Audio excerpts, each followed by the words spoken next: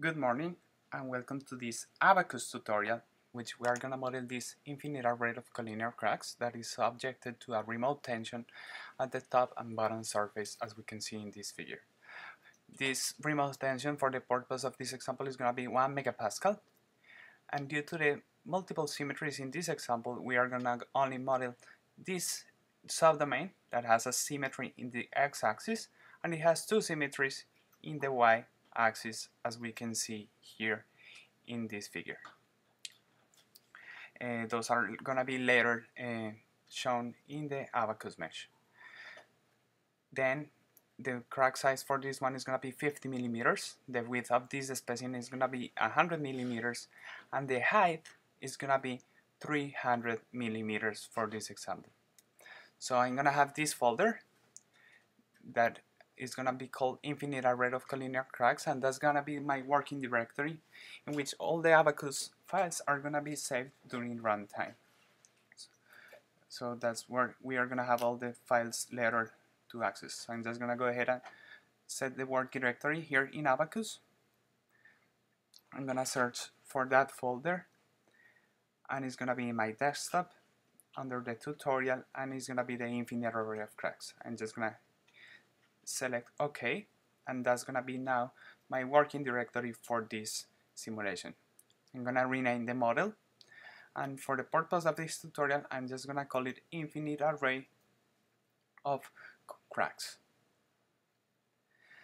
The first thing that I'm gonna do is to create a part.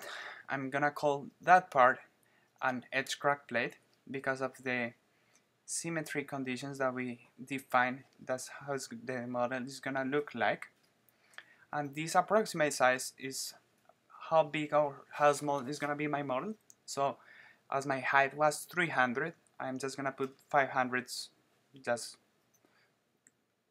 because. And deformable and as a shell element so I'm just gonna hit continue. And now this is where I'm gonna start creating uh, my part based on the geometrical definitions. So I'm gonna create a rectangle the first thing that I'm gonna select is my initial point of the rectangle. And then I'm just gonna select the opposite or end point of the rectangle. But I prefer to type the coordinates of that point so it's gonna be 100 and 300 recall the uh, dimensions that I specified here in the beginning of the Abaqus tutorial. So that's gonna be my part. I just select exit and done and now this is gonna be my edge crack plate. In order to define the crack later in the Abaqus simulation, I'm gonna have to create some partitions in this part that are gonna help me to define the crack in the model. So I'm just gonna go here uh, to the midpoint of this lower edge and I'm gonna create these radial regions which are gonna be for the collapse elements because we need to define some special crack tip elements, crack tip elements this is like a transition zone because this zone is going to have a higher mesh resolution than the rest of the part. And I just divide that in the y direction as well. So those are my partitions that I define in order to create the crack. I'm gonna have to create a material. So I'm just gonna call that material material. I'm deleted the dash and the one and it's going to have a material that is going to have elastic properties and the Young modulus is going to be 200 gigapascals. So my base units for these models are going to be megapascals, so that means that gigapascals is megapascals to the power of 3. 10 to the 10 to the 3. And then the Poisson ratio for this example is going to be 0.3. I'm going to have to create a section and that section is going to have a material associated to it. So it's going to be a homogeneous section and the material that is going to be assigned to it is going to be the material that we just created before.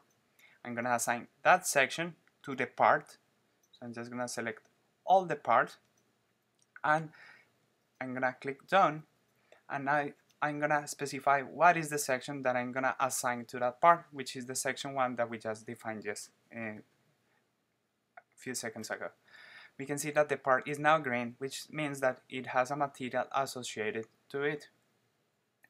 Then, following the steps here in the tree that we have to the left, I have to create an instance inside assembly. So we can have multiple paths in the assembly, or for the purpose of this tutorial, we only are gonna have one part in the assembly. So I'm just gonna double click instances, and we are gonna call the edge crack plate part, and the, is gonna be independent. So the, the mesh is gonna be in the instance and not on the part. Now I'm gonna define some node sets or some sets in order to define the boundary conditions later in the model. So I'm just gonna create the left wall. I'm gonna select these two edges. So now with shift, I can select both edges, both left edges, and that's gonna be my edge where I'm gonna define a boundary condition later. I'm gonna do the same thing for the right wall. So again, holding shift, I'm gonna select those two edges that define the right, wall. And now the x band, the x symmetry condition, because we are only gonna model the upper half of the model, is gonna be that region in there. So that region is gonna have a symmetry uh, boundary condition, and for that we are gonna have to define a node set in which we are gonna apply a boundary condition later. I'm just gonna call that one xsim boundary condition. And again holding shift I'm gonna select the three edges. And I click done. Those are the three but no uh, sets in which we are I'm gonna define the boundary conditions later. Now on the engineering features I'm gonna define the crack and the crack is gonna be using a contour integral so that's the J integral that is being programmed inside Abaqus. Mm-hmm. And the first thing that is going to ask me is for to select the crack front. So I'm just going to select that crack front, which is the crack tip, as we can see here in the schematic of the example. That that's the crack front sitting on the middle of the that lower edge. And I have to specify the crack extension uh, direction. I'm going to use a Q vector, and my initial point is going to be that one and the endpoint of the Q vector is going to be that one. I can see that I created that vector and it's specifying that it's growing the crack in that x direction towards the right. I'm going to select the symmetry plane because I'm only modeling half of the model as explained before. So I have to specify that I'm doing that in order uh, for the integral computations. And I'm going to use special crack tip elements. So it's going to have a quarter point element and it's going to be collapse element side. That's in order to recreate the stress singularity that is happening at the crack tip. So with that, I just define the crack in my model. And then I have to select the step, which is like the problem type, type that I'm running here in Abaqus. So it's going to be an static general. And now I created the step. Now, as I created a crack, I need to see what are the outputs associated to that crack are. So I'm just gonna create a history output request. I'm gonna double click that. I'm just gonna call that crack output. So it's gonna be the outputs that are associated with the crack. So it's gonna be the domain is gonna be the crack. The crack is named crack1 and the number of contours for the J-integral computation that I selected here is 10. Now after that, following the steps in the tree, I'm going to define the loads and the boundary conditions. First, I'm going to define the boundary conditions, which are displacement. And the first one is going to be the left wall. So I could have defined the nodes, the sets in which I'm going to apply the boundary conditions here, but remember that we defined those previously. So I'm just gonna select sets and I'm gonna apply the boundary condition in the left wall set that I created before. Because it's a Y sym symmetry boundary condition, I'm gonna restrict the movement in the x-axis. So that goes with the degrees of freedom number one. So I'm just gonna put a zero in there and it created rollers in that left wall. Then I'm gonna do the same thing for the right wall. Again in the x-axis it's gonna be restricted the movement. And I'm gonna do the same thing for the symmetry with respect to the x-axis that is sitting right next to the crack. And for that one the movement is gonna be now restricted in the y-axis. So that creates those rollers in that in those edges. Okay then I'm gonna apply a load. I'm gonna do it using a surface traction. That is gonna be here in this edge. And it's not gonna be a shear. Actually you know what? It's easier if we do it using a pressure. So I'm just gonna cancel that. And I'm gonna apply uh, the load as a pressure so I'm gonna apply the load in that surface.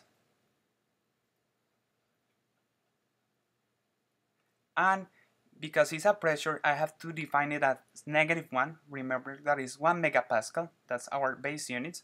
And the negative means that we are pulling instead of applying pressure to the part. As we can see here that the now, now the part is under traction and the magnitude of that load remember that is 1 megapascal.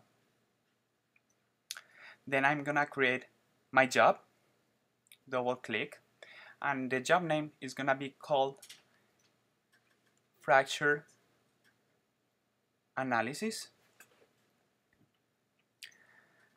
And I just created the job which is not ready to submit yet because we have not defined the mesh in our uh, part so I'm just gonna go here to mesh. And the first thing that I'm gonna do is to define the element type. So we are gonna assign the element type to my part. And it's gonna be a quadratic plane strain without reduced integration uh, element so it's gonna be an 8-noded biquadratic plane strain quadrilateral. So those are the elements that are gonna be here in my part that's the element type then I'm gonna assign some special meshing techniques for this rosette region because of the singularity at the crack tip I'm gonna need some special element types in there.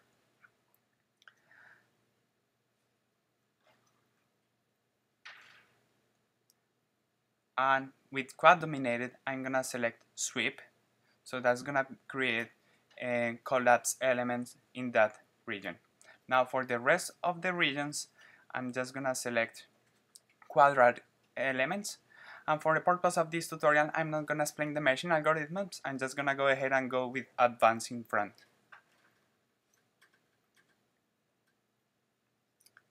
Then I'm gonna define the size or like the resolution of my mesh. So that's gonna create like some global partition for my entire part. So let's see what that does. So that means that the mesh is gonna be the meshing algorithm is gonna be using those partition in the edges in order to start the mesh. We can go smaller, like the approximate global size is 8, or maybe 4, and we can see that how that changes the resolution in my mesh. I'm just gonna go ahead and use an 8 in here. And for this region, we need a better resolution because that's where the action is happening. So we need a finer mesh resolution in there. So I'm just gonna apply, uh, apply an edge seeding for these four radial edges. and I'm not gonna do it by size but I'm gonna do it by number so right now we have a total of 1 2 3 4 5 uh, elements I'm just gonna apply double that and I'm gonna have 10 partitions for each one of those edges so that's gonna create a finer mesh resolution in that zone where the crack tip is I'm gonna click OK and now my part is ready to mesh.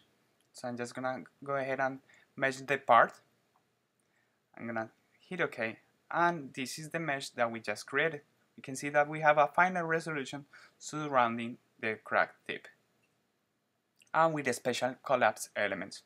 Now I have to check if the mesh is quadrilateral so I'm just gonna query the entire assembly and we can see that we have a total of 557 elements and all of them are quadrilateral. So that means that our simulation is ready to go. Sometimes Abaqus has problems if not all the elements are the same type. So I'm just gonna right click here in my job. I'm gonna submit the analysis. Now the analysis have been has been submitted.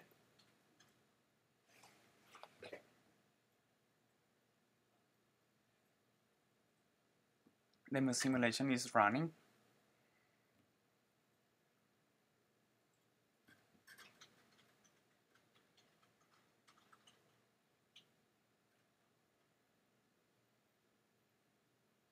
And it's completed. So we right click and results, I can go ahead and plot the deformed shape.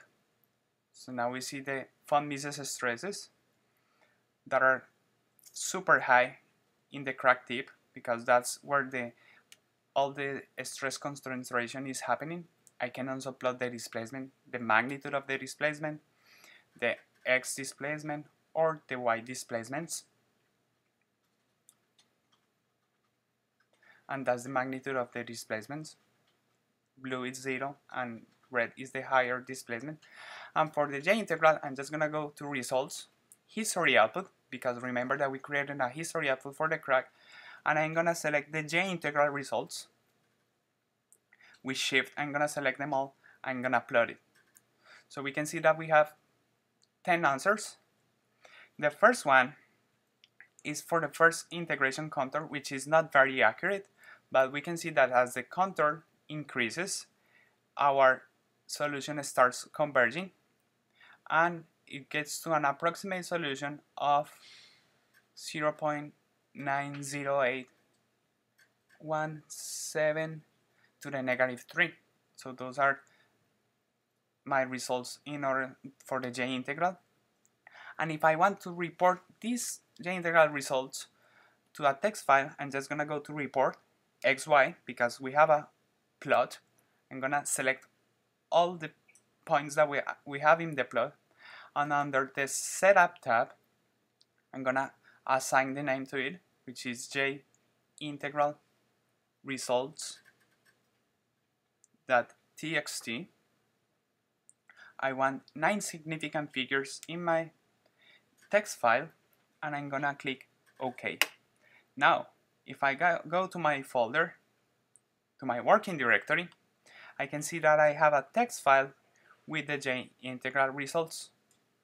I'm gonna open that file and we can see the J integral for each one of the contours that I asked in the when I define the crack. So I define a number of 10 contours and now I have 10 J integral results once for each contour we can see that as the solution or the number of contour increases, our solution converges to one value.